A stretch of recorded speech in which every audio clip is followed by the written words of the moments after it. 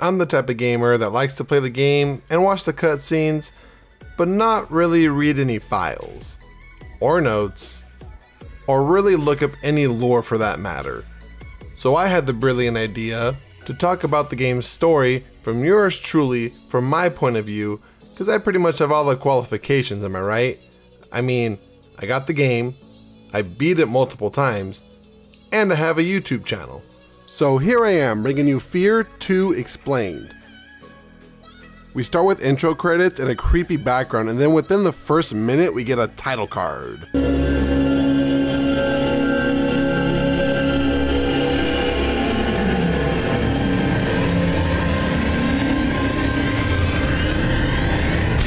Start the actual gameplay following Alma with the post-apocalyptic looking world with no explanation of what's happening. We jump into this little hidey hole and then we're just kind of in an army truck. Shit still doesn't really seem right. Then Alma jump scares the holy living shit out of us and then we are in reality. We get a debrief and our mission is to get to Genevieve Aristide, who's president of Armacham Technology Corporation and we need to get her into protective custody. We believe that she is directly linked to the incident that happened in Armacham. Armacham. I think it's Armacham. Saba, Saba, Sama, Sama.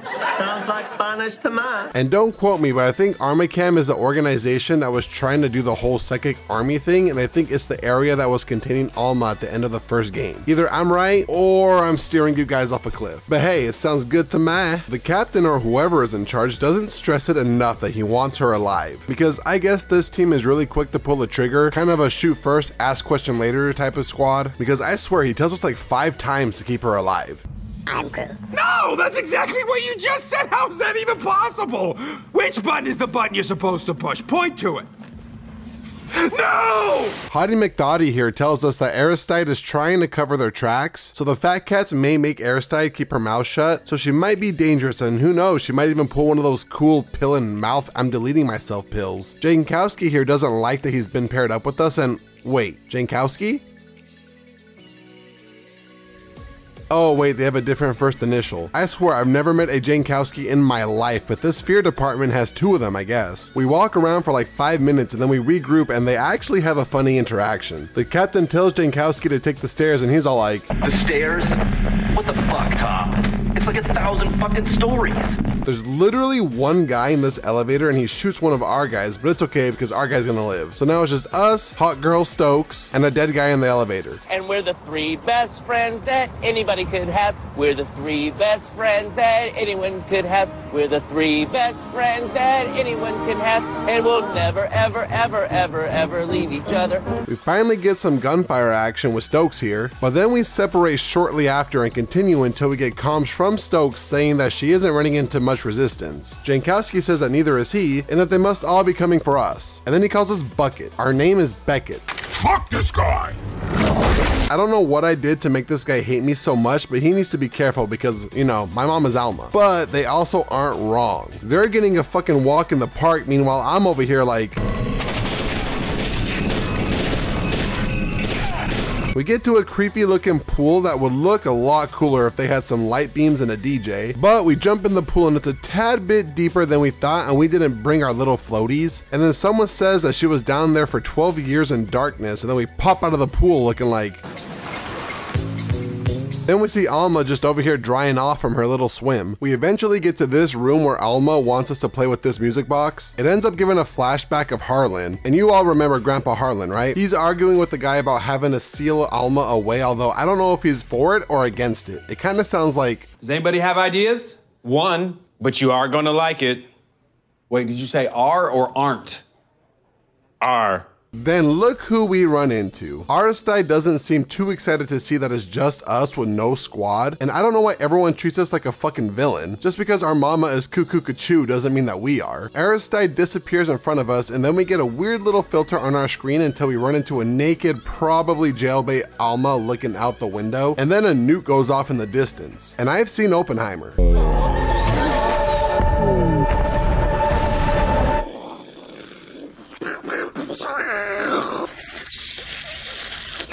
Barely conscious, we see Aristide telling a bunch of randos to take us aboard and that they don't have much time. I'm guessing we're dying. Next, we see some doctors checking on us, and the doctor says something about Lidocaine. And if you don't know what that is, don't worry, I don't either. But we keep switching between these doctors and these doctors, so I'm not too sure which is really real. We wake up and Stokes tells us that she has a faint read on us and the captain, but nobody else. So I'm guessing they're all dead, but who knows? We wander around the hospital for a bit until some spooky shit happens, and then we see this random guy shoot a poor nurse. We currently don't have a gun since it's not standard protocol to give you a gun directly after surgery for some reason, but we run into Aristide and she tells us that we need to get to the TAC lab, but to be careful because Vanek's men are after us, which honestly sounds a little bit flattering and everything, but Vanek is one letter away from Valak and I don't fuck with demon nuns. Someone does us a solid and tells us that we're about to run into an ambush, and Stokes is like, Wait, wait, wait. Here he tells us that we could call him Snake Fist. Really? Snake fist?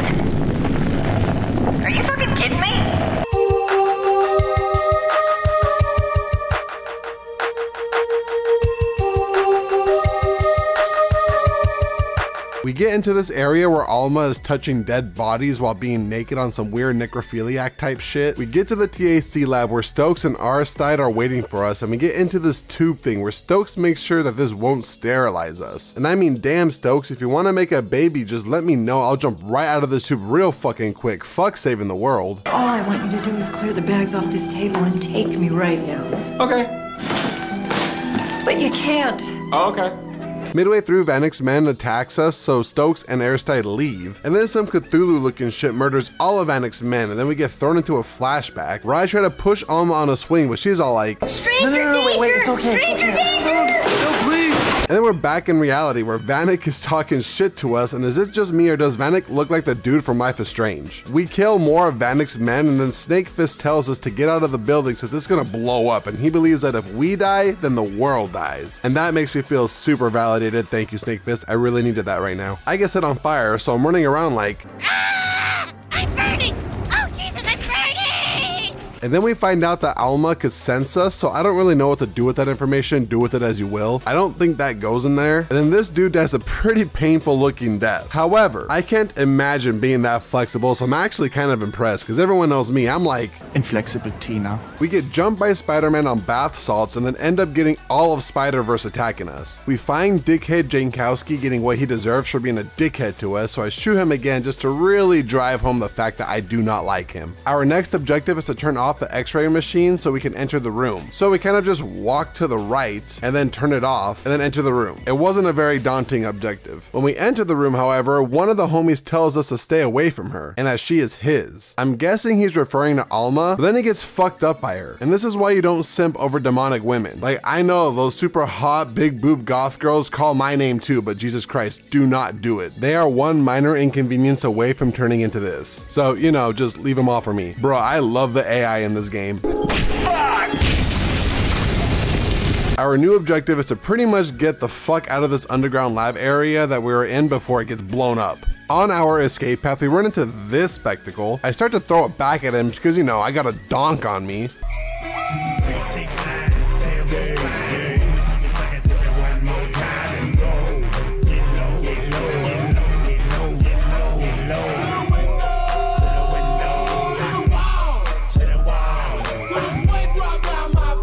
And this man is unfucking phased. So since he was nice enough to not shoot me, I kind of just let him live. He gets to go see the family later on. It's a it's a cancer ray. Holly Quinn, you gave me cancer? Why would they even make this? Well, that's it, Kev. I'm gonna spend the holidays with my kids. I'm so sorry! We get blown up again, since if you remember correctly, we get blown out of a window in the first game. But this time we get hit by a metal pole and then black out. When we wake up, this guy says, You're like free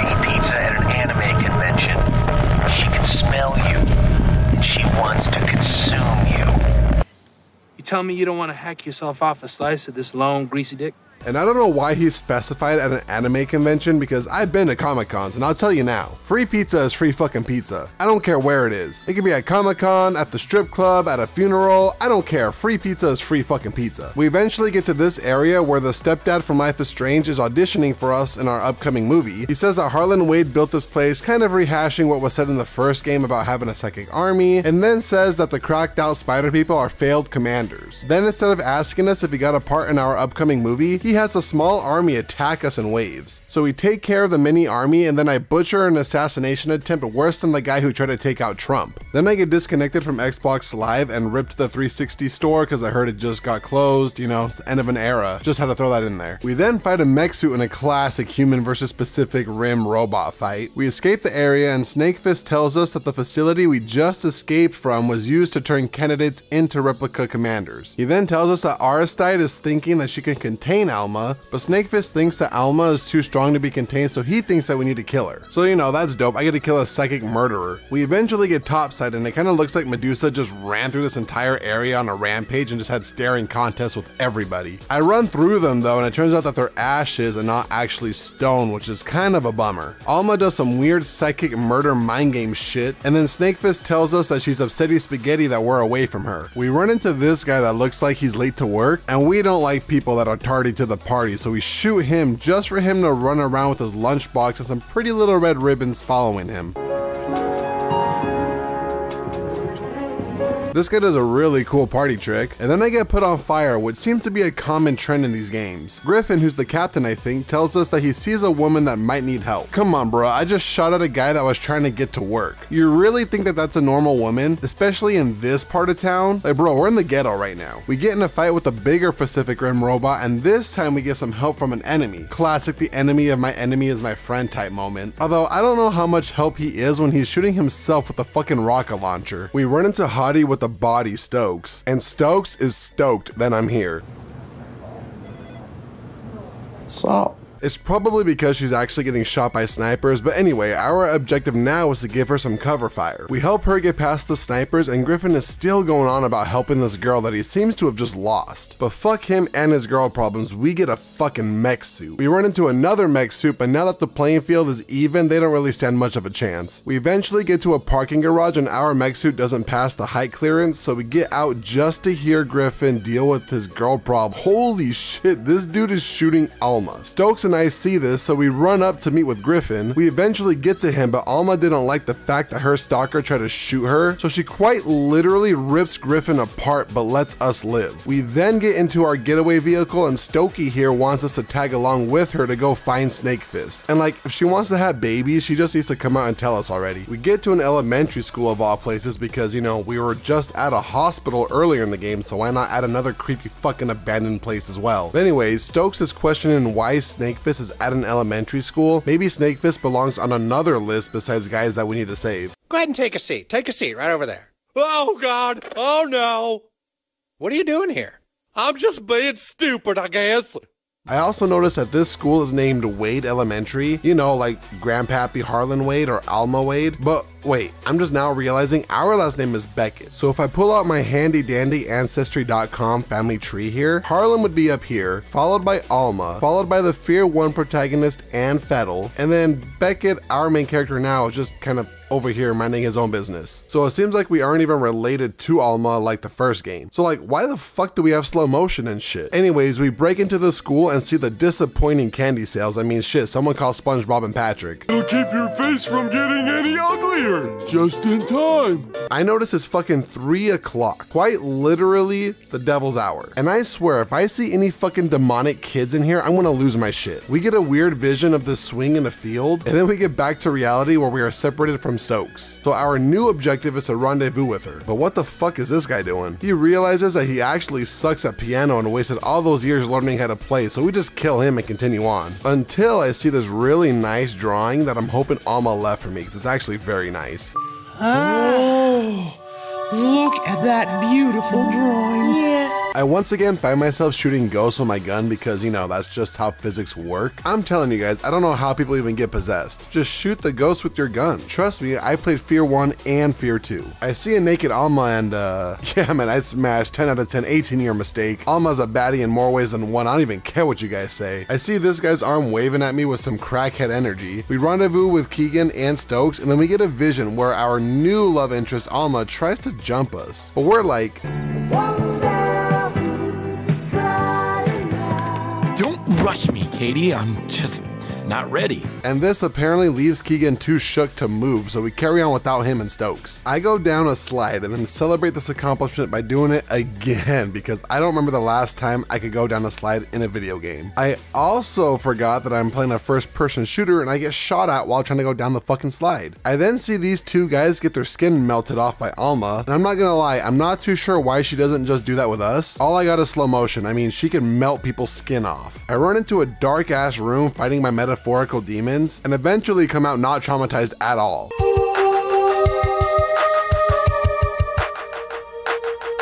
We grab a key card that we need to use to get into the nurse's office since we aren't feeling very well. Told me it's sequel.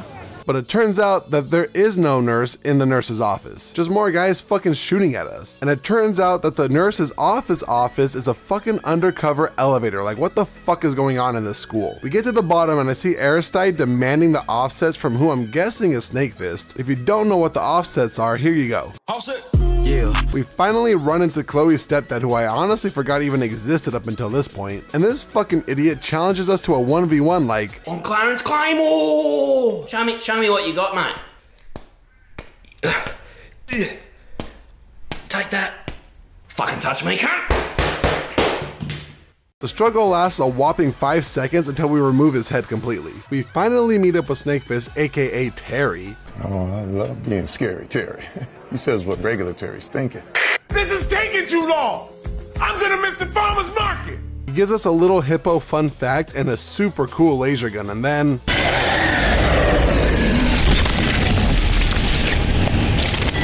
Yeah, that happens. I hope to God that was a quick death because Jesus Christ.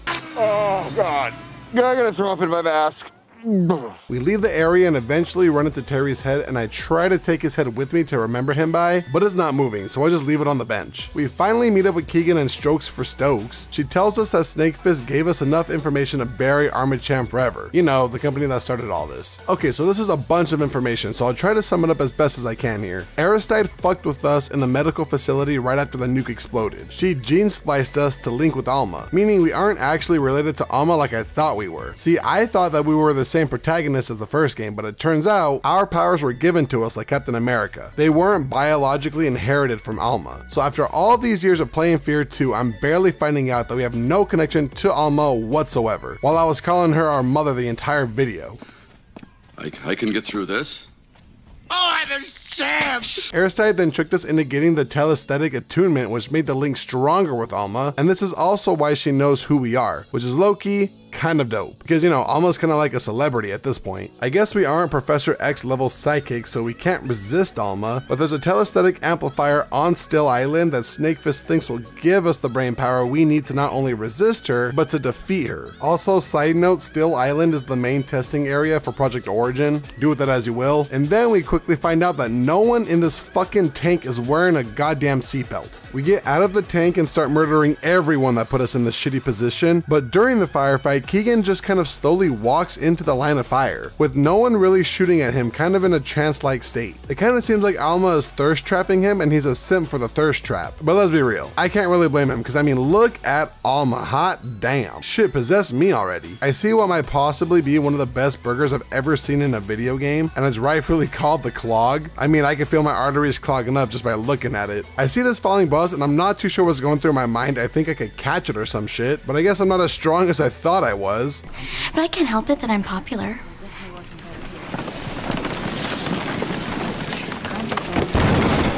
We get a call from Stokesis with the Mostess, and she tells us there's a cargo tunnel that Armacham uses that will lead us to Still Island. So guess what our objective is now? That's right, we gotta kill Stokes. Just kidding, we gotta find the tunnel. I see what might be the best subway conductor I've ever seen. We get topside and get into another fucking mech suit. Fuck yeah. We go on a murder spree and then end up on this empty ass road. I walk a lonely road,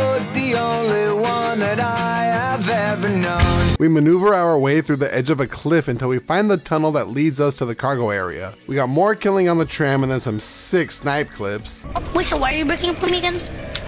Because I found someone better than you and you're always cheating on me.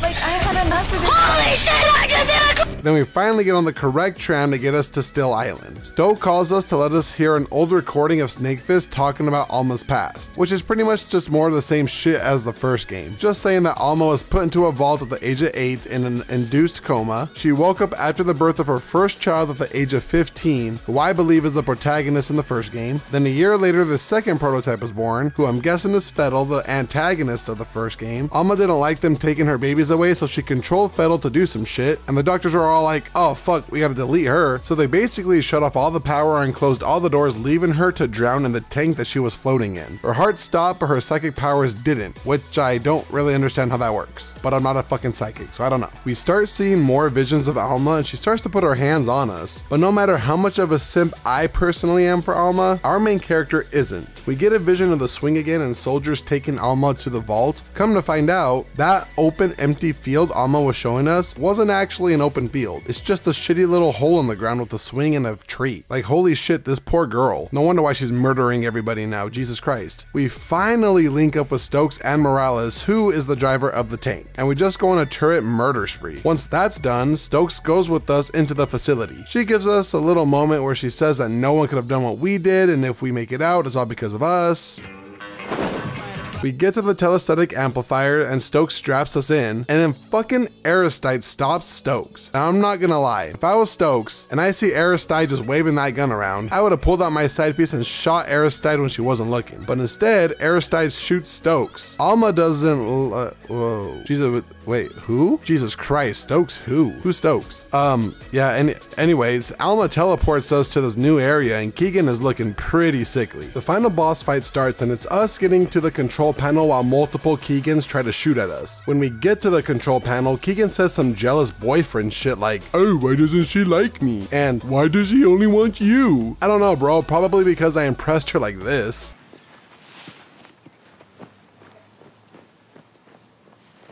We put an end to Keegan with some very hot flashes of Alma, and then I think we just kind of kill Alma. I'm not really too sure what happened. There was a lot of nudity and a lot of moaning, and I got super fucking distracted.